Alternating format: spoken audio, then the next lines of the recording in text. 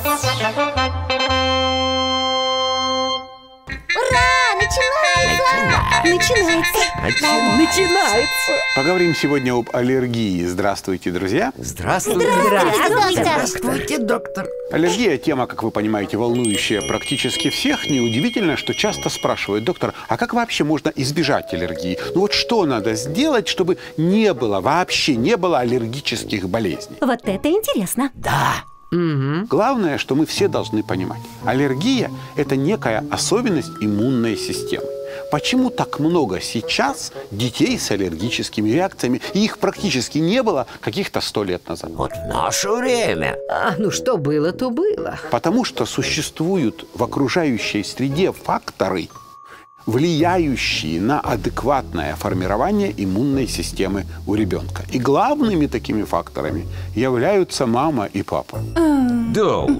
Да. Ибо именно мама и папа в большинстве случаев создают среду обитания, которая мешает нормальному формированию иммунной системы. Как это? Ну, Иммунная система, которая должна регулярно работать, встречаться с вирусами и бактериями, оказывается сплошь и рядом безработной. Она фактически живет в состоянии стерильности. Современные дети, они очень мало видят грязи, то есть мало видят бактерий, но в то же время видят много химических раздражителей, ну, всяких факторов бытовой химии, видят много лекарств, видят много лишней, непереваренной полностью еды.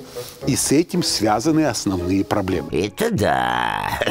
А ведь правда. Ну да. Поэтому главные способы профилактики аллергии вообще состоят в том, что надо а.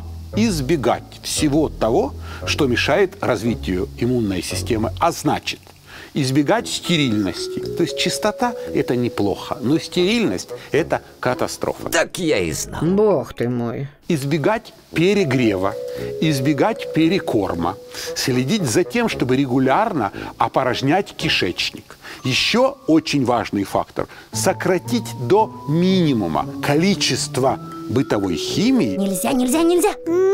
А вот что касается реальной чистоты, на первом месте должна стоять чистота воздуха. Вот обратите внимание на то, чтобы воздух был чистый, а еще лучше с нормальной температурой и влажностью, это как раз прямая задача родителей. Вот реализация всех этих факторов и будет способствовать профилактике аллергических заболеваний. Спасибо. Спасибо, доктор. Дорогие друзья, прекрасно иметь дело с адекватными здравомыслящими родителями. Подписывайтесь на наш канал.